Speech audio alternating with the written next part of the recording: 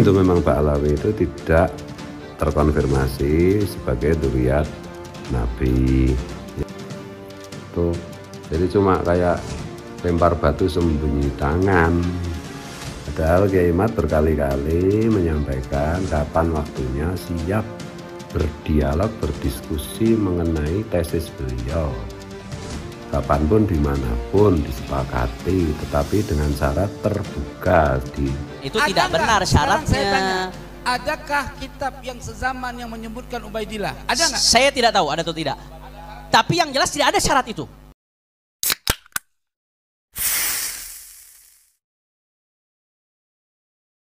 Assalamualaikum warahmatullahi wabarakatuh.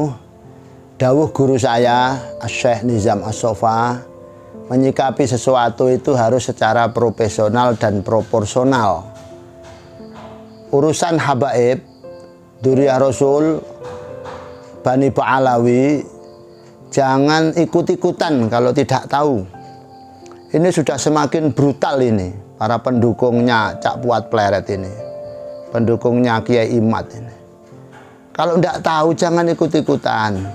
Coba tesis Kiai Imad sendiri. Ternyata Mardut sendiri yang mengatakan Ba'alawi adalah turun Rasulullah Mardut. Tesisnya ketika dihantam secara ilmiah oleh Habib Hanif, oleh Gus Wafi, ternyata mental. Kalau masalah DNA, ini bisa jadi ya namanya percampuran darah bermacam-macam sehingga ya bisa jadi waktu yang ditik tes itu ada campuran dari orang-orang Israel. Biasa-biasa saja. Kalau ada yang mengatakan lewat mimpi bertemu Rasulullah, mimpi aja loh.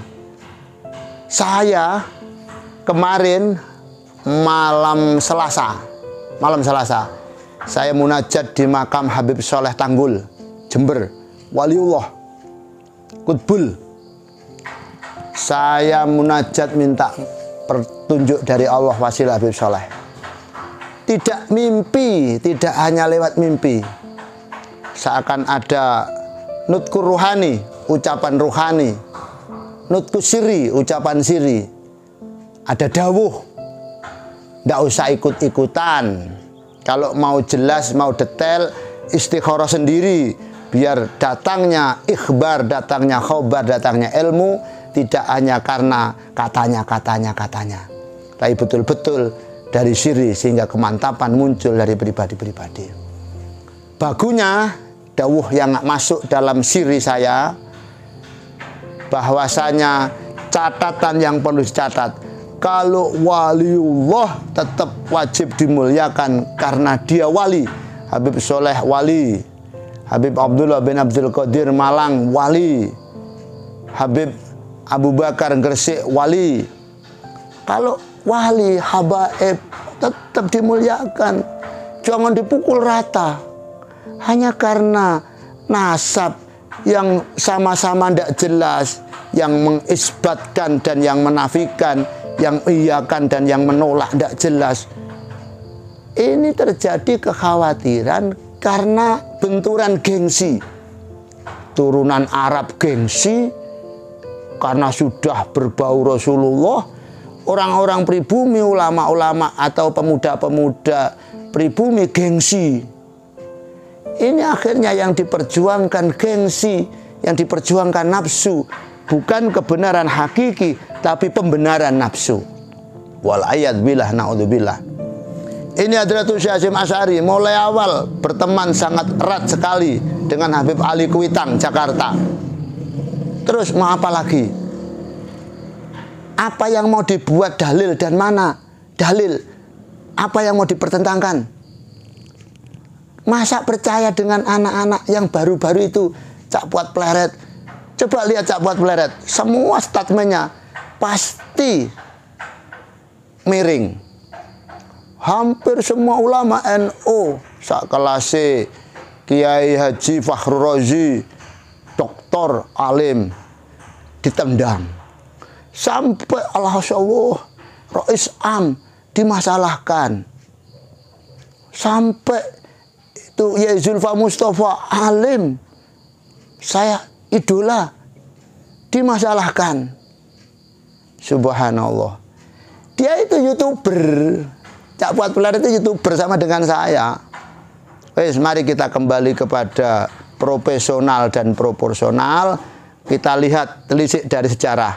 Masalah nasab Bani Ba'alawi itu masih khilaf antara al-musbid dan al-munfi yang mengiyakan dan yang menolak. Tapi dalil yang mengisbatkan juga banyak puluhan kitab dan bahkan puluhan lebih hampir ratusan ulama-ulama salaf mengisbatkan. Masalah jeda-jeda dan sebagainya itu urusan-urusan nasab pasti ada khilaf, khilaf, khilaf biasa. Terus coba kita pembawa kabar, mari kita telisik pembawa kabarnya. Bagaimana kita lebih percaya pada anak-anak sekarang yang kepingin viral? mengalahkan ulama-ulama kita dulu. Mbah Ash'ari, Kiai Hasan Genggong Probolinggo. Yang wakila-wakila ketika ada habaib cium harum. Mana ulama-ulama kita dulu Mbah Ash'ari guru-guru kita begitu memuliakan para habaib. Coba wis. Sekarang mari kita dawuh siri.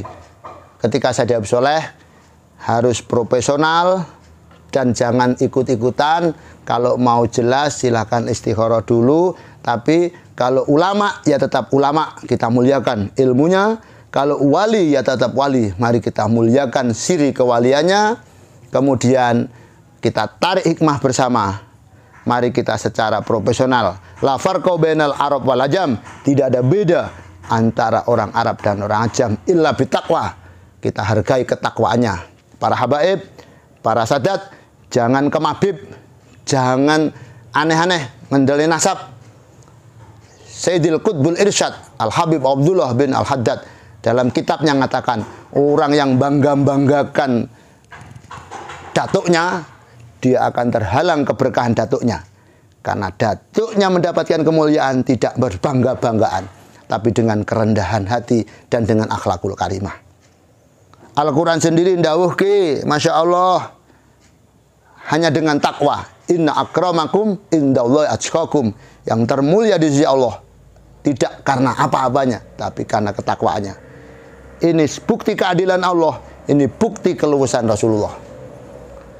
Kita harus profesional dan proporsional, jangan sampai kita benci, khawatir hanya karena segelintir kata-kata kata-kata kita benci kepada Habib Abdullah bin Abdul Qadir, benci pada Habib Soleh, benci pada Habib Lutfi bin Yahya, benci pada Habib Umar bin Hafid. Subhanallah.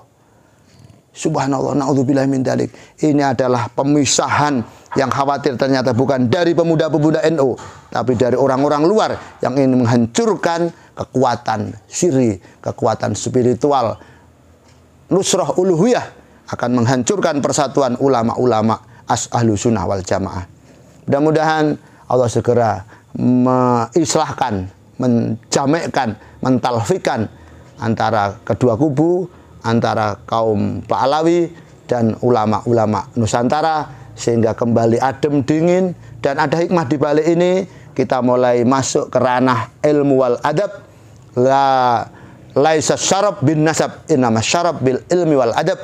Tidaklah kemuliaan itu karena keturunan karena nasab tapi kemuliaan mari kita bangun dengan ilmu, amal, dan akhlakul karimah. Sekian dari orang kampung, orang desa Ali Mustafa, lereng Gunung Semeru.